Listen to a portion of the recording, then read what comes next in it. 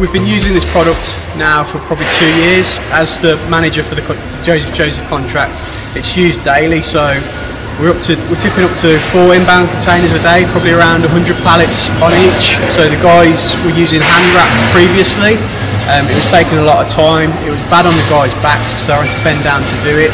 So we obviously were giving this to trial, um, and we haven't looked back really. So we're still using it now. Um, the guys love it just from the side, the fact it's quicker and it's also a lot easier on the backs. So yeah, it's a product I definitely recommend.